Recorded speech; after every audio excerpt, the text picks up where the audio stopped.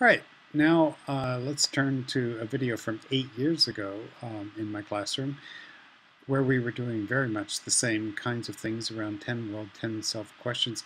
It's important to understand that this work is based on the work of James A. Beane um, and uh, his work in democratic education and um, Paulo Freire and his work with um, generative themes and obviously Peter Elbow's work with uh, free writing, and um, so yeah, it's it's um, been important for many many years. This kind of work, um, leading towards students finding their passions, finding what's um, at the heart of their curiosities, and developing those together.